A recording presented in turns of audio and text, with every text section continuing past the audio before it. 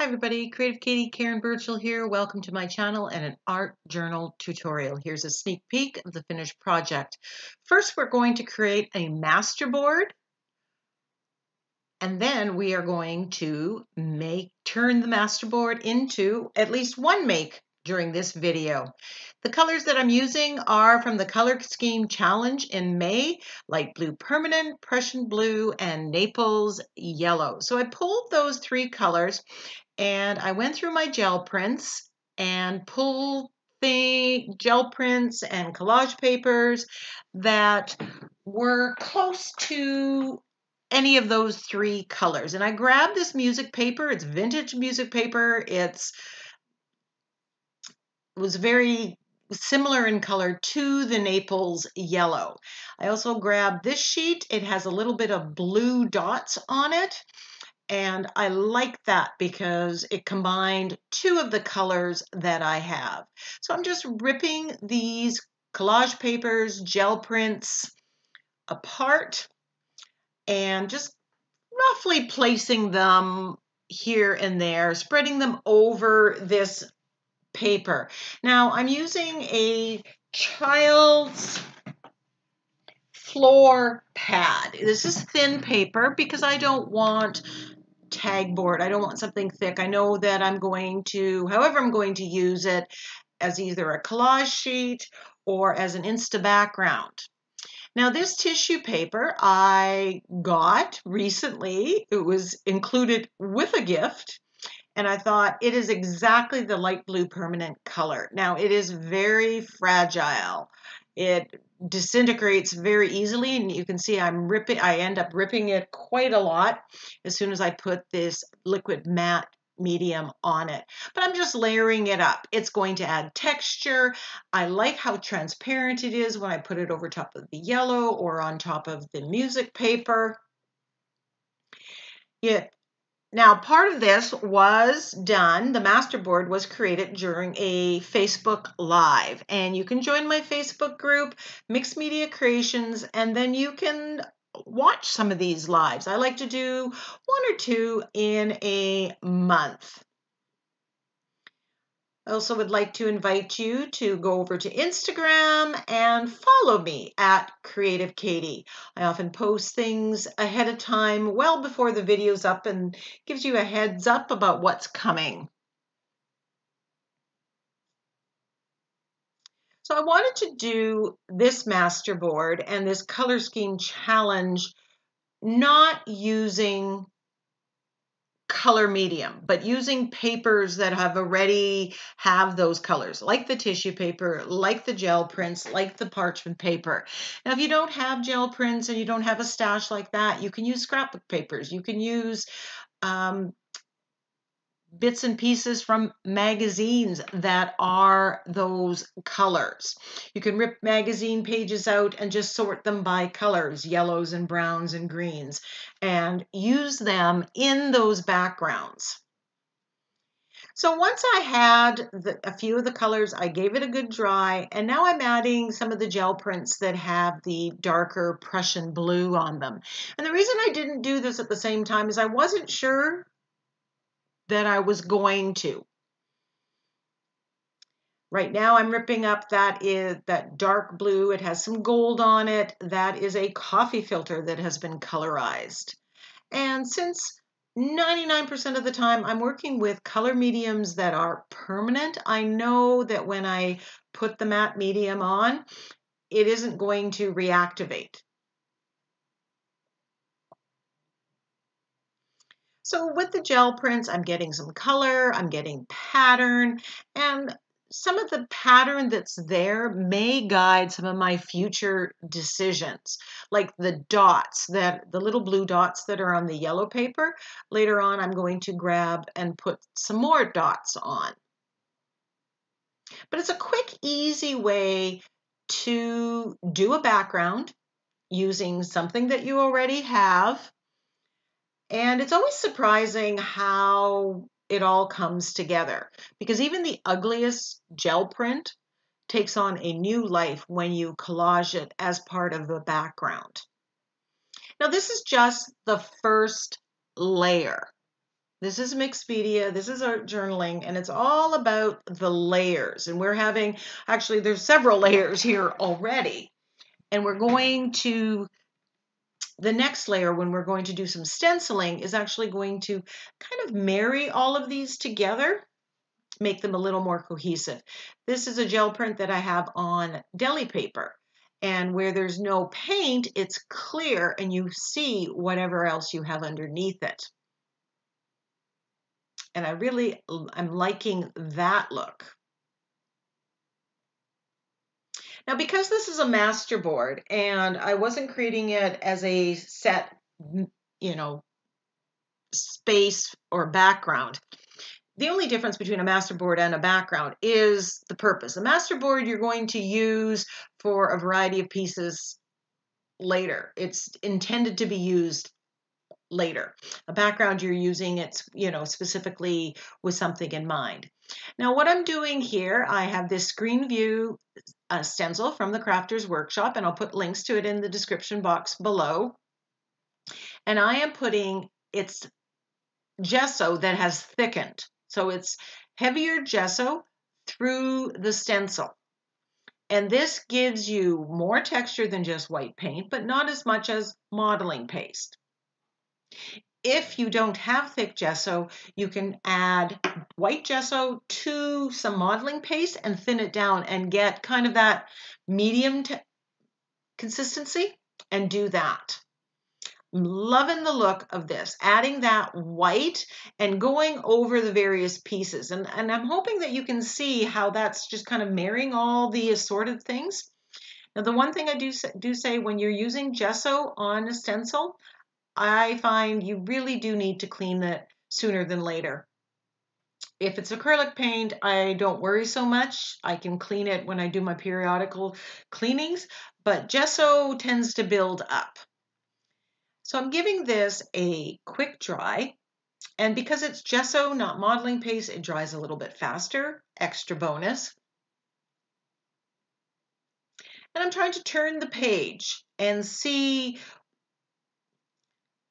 you know, is there an orientation that I like? And sometimes turning it when you're creating a master board helps you see things in a different light. I'm liking how the yellow and the dark blue and the light blue are playing off each other. I've got some white space there. I've added more white with my stenciling. Now here's where I'm adding some dark blue, the Prussian blue dots. This is quadrangle fan and I'm using just that circle part of it. I love the size of those circles and I'm just adding those to it. And I'm going over top of all the elements that I collage, collaged down earlier. And because you're not stopping or starting or just doing it on, you know, the light blue part, it does make everything work together and start acting as a cohesive type piece. Now, as I was making this, I had no idea at all what I was going to do with this page. There was no plan, no idea for focal image or anything while I was creating the master board. I wanted to get some paint on my hands and just create. And I find doing a master board is really freeing because you can just not overthink it because you don't know where it's going. You're just creating. And I find sometimes I get more creative when I do that. I'm grabbing my darkroom door script stamp and just adding a little bit of script. And again, it's going all over the place on every one of those colors. And it just kind of ties everything together.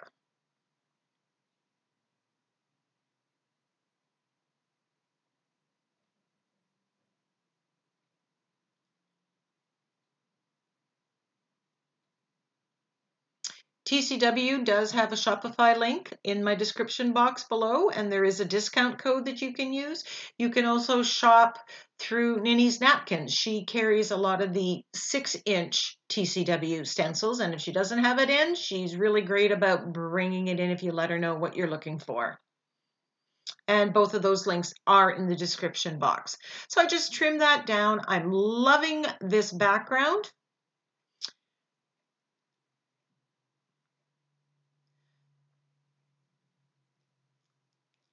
So I wasn't sure what I was going to use.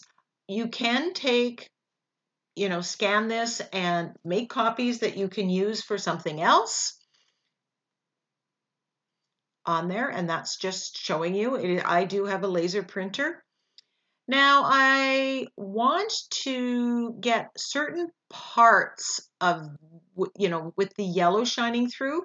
So I'm thinking about the composition. I have a printable that I'm going to put on there.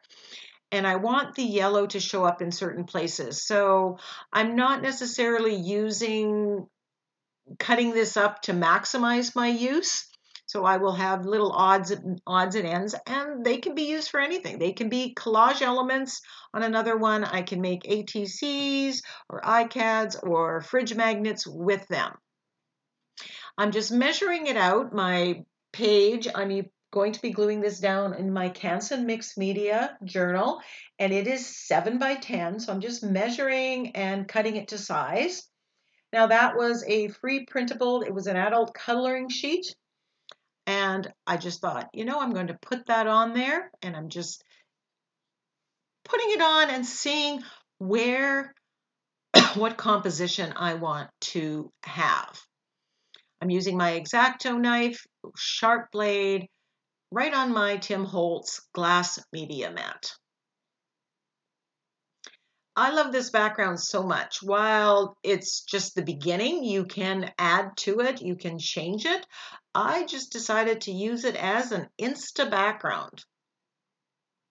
I'm using gel medium because this paper is a little thicker to put on and glue down. And I'm using a key card here or credit card to get it to lay flat, checking the edges to make sure that everything is adhered. Now I'm just gluing this printable down. I cut it out and I'm using I'm using the gel medium. I don't have to, but it's what I had out and my brush was already all dirty with that. So and I thought about leaving this white, which is something I've been doing a lot of. And then I decided, you know, do I want another piece of yellow? I decided that I wanted to paint this. And I'm sticking to the color scheme challenge, but I know that if I use the Naples yellow with the Prussian blue, with the light blue permanent, I am going to get some form of green. So I'm just mixing those up on my glass media mat and I'm going to get green for the leaves. I'm still being true to the color scheme challenge. And that's why in my little book, you when you swatch out the colors and you blend them, if they make a color you like, you can then use that color. There's nothing saying you have to put the raw colors from the color scheme challenge on only. So here I've got green and I'm just giving this a good base coat. I thought to, I was going to stamp with a foliage stamp, just get some imprints, but it didn't work very well. So plan B. Now for the flower, I'm adding some white gesso with the Naples yellow and I add it as I go, I add more so that it's just a slightest bit of that Naples yellow. So again, you can change the tone by adding white or black to your colors. And you're still staying within the color scheme. So again, I'm getting a base coat. I do go over it and get a little bit more. I wanted the middle of this flower to be the strongest of the Naples yellow so it goes well with the yellow that's in the background.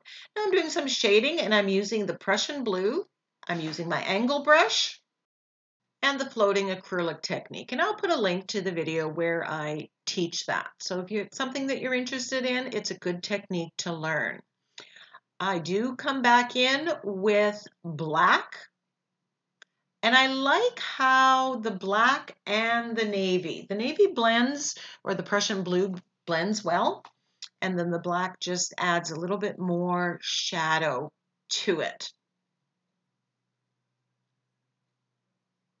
And you can see I did coat that daisy flower a little more with just more straight up or very, very lightened Naples yellow. So it's very much off-white. But we're going to do some shading on that too with the Naples yellow. Now when you're doing the floating acrylic technique, you don't want, you kind of skip over it and do ones. You don't want to touch it when it's wet. You need it to let it dry. So either you need to put the heat tool on or just let it dry in between and give it some space to do it. So I'm using the Naples yellow floating acrylic technique and just adding the where the lines are. And that's one of the great things about using a printable. There are lines, or a stamp for that matter. There are kind of guidelines that show you where the lines or the shading are. And then I'm just playing up,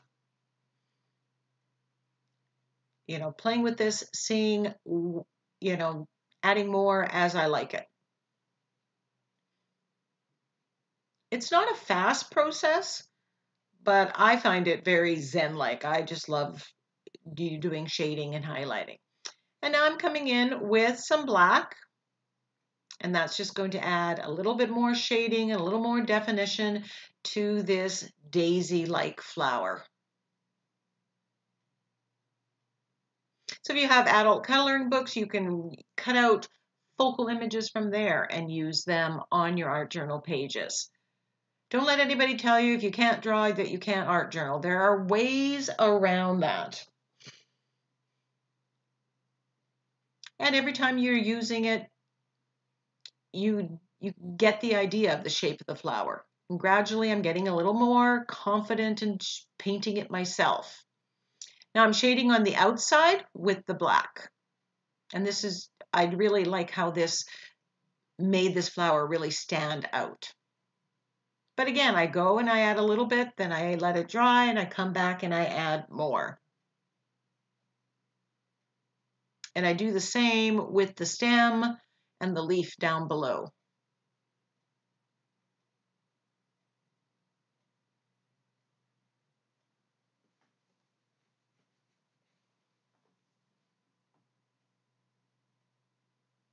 Using the shading acrylic technique and I'm just edging with black now, if you don't want to do the shading acrylic technique, you can use a charcoal pencil, you can use a Stabilo All pencil, but neither of those are permanent.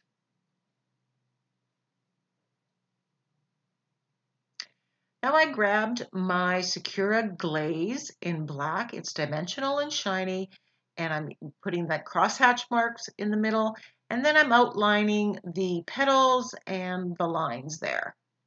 And that just adds so much detail and just really made it pop. I love using the Sakura Glaze pens. They are so easy to work with. They're bold, they're very opaque black. I love them. And I'll put a link to them in the Amazon store as well.